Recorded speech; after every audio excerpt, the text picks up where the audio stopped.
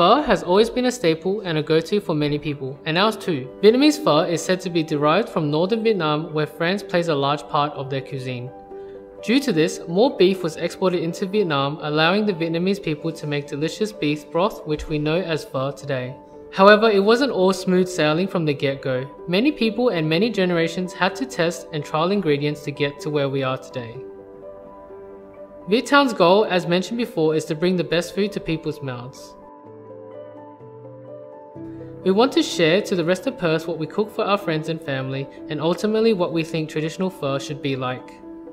We are so serious and so committed to making traditional pho that we source the most fresh ingredients, which includes herbs and spices that go with the pho, and we make and process our own pho noodles to match the delicious pho broth.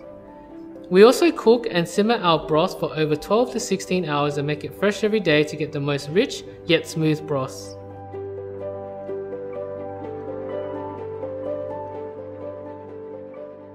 We believe that handmaking items with our love and care will better produce results and provide a taste that is closer to traditional pho than if we were to outsource all of our items.